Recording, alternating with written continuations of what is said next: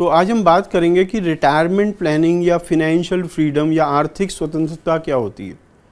तो अगर मैं बहुत सारे लोगों से पूछूँ कि जब आपने अपना काम करना शुरू किया था, उस टाइम अगर मैं एक सर्कल बनाऊँ, जो रिप्रेजेंट करता है आपकी टोटल इनकम तो उस टाइम आप उस सर्कल को दो अनइक्वल पार्ट्स में डिवाइड कर सकते तो जैसे कि मैंने एक सर्कल बनाया, ये रिप्रेजेंट करता है आपकी टोटल इनकम अब इस सर्कल को मैं दो अनइक्वल पार्ट्स में डिवाइड कर सकता हूँ।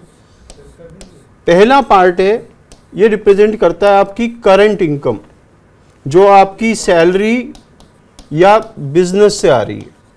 और दूसरा पार्ट रिप्रेजेंट करता है आपकी इन्वेस्टमेंट इनकम तो जब हमने अपना काम करना शुरू किया, हमारी ज़्यादातर इनकम हमारी सैलरी या बिज़नेस से आ रही थी, और बहुत कम पार्ट टोटल इनकम का हमारी इन्वेस्टमेंट से आ रहा था। ऐसे ही हम सबने काम करना शुरू किया। अब हमारी लाइफ में एक सर्कल है कहते हैं circle of wealth circle of wealth कहता है कि हर एक आदमी की एक इनकम होती है। वो इस इनकम में से कुछ एक्सपेंस करता है, जो बच जाता है वो उसकी सेविंग्स बन जाती हैं। और जब वो सेविंग्स को इन्वेस्टमेंट में कन्वर्ट करता है तो उसको इनकम आनी शुरू हो जाती है। तो आपकी इनकम आई, आपने एक्सपेंस किया, जो बच गया वो आपकी सेविंग्स थी। जब आपने इस सेविंग्स को इन्वेस्टमेंट में कन्वर्ट किया तो वापस इनकम में ऐड होना शुरू हो गया। तो आपका गोल एज अ पर्सन जिसकी ये सर्कल है, आपका गोल क्या है इसमें? आपको कोशिश करनी चाहिए किसी तरीके से मैं अपनी इनकम को तो मैक्सिमाइज करूँ एक्सपेंस को मिनिमाइज करूँ सेविंग्स को मैक्सिमाइज करूँ और ऐसी इन्वेस्टमेंट में कन्वर्ट करूँ जो मुझे हाईएस्ट पॉसिबल रिटर्न दे। अगर मैं ये काम ईयर ऑन ईयर करता चला जाऊँ तो मेरा ये जो टोटल इनकम सर्कल था, ये हमेशा के लिए बदल जाएगा।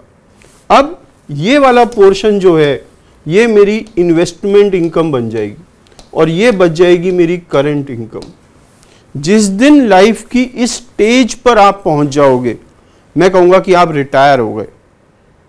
तो मेरा आपसे क्वेश्चन है लाइफ में दो ही ऑप्शन है। या तो आप पैसों के लिए काम करो, या आपका पैसा आपके लिए काम करे। दोनों में से बेटर क्या है? ऑब्वियसली जब आपका पैसा आपके लिए काम करे और जिस दिन आपका पैसा आपके लिए इतना काम करे कि आपको पैसे के लिए काम करना ही ना पड़े तो आप रिटायर हो जाते हो। अब एक क्वेश्चन है सपोज़ आप इस लाइफ की स्टेज पे पहुँच गए, जब आपको पैसे के लिए काम करने की कोई ज़रूरत नहीं है, क्या आप काम करना छोड़ दोगे? नहीं, आप अभी भी काम करोगे। पर अब आपके काम में एक डिफरेंस है। अब आप खाली वो ही काम करोगे जो आपको करने में अच्छा लगता है। और लाइफ में आप उन्हीं चीज़ों में ज़्यादा सक्सेस पाओगे जो आपको करने में अच्छी लगती है। तो क्वेश्चन आज की डेट में आपके लिए एक और है कि क्या आज की डेट में आप वही काम करते हो जो आपको अच्छा लगता है? या अभी भी आपको पैसों के लिए काम करना पड़ता है? अगर आपको अभी भी पैसों के लिए काम करना पड़ता है तो आपको जल्दी से जल्दी इस स्टेज पे पहुँचना है अपनी लाइफ के, जिससे कि आप वो बन पाएँ जो आपकी में बनने की क्षमता है। क्योंकि तो लाइफ में आप बेस्ट तभी दे पाओगे जब आप वो करते हो जो आपको करने में अच्छा लगता है। और यही रिटायरमेंट है। यही रिटायरमेंट है, यही फिनेंशियल फ्रीडम है। ये इससे अच्छा तरीका रिटायरमेंट को समझने के लिए कुछ है ही नहीं। तो आज हमने देखा सर्कल ऑफ़ वेल्थ क्या है, और हमने ये भी जाना कि रिटायरमेंट क्या है।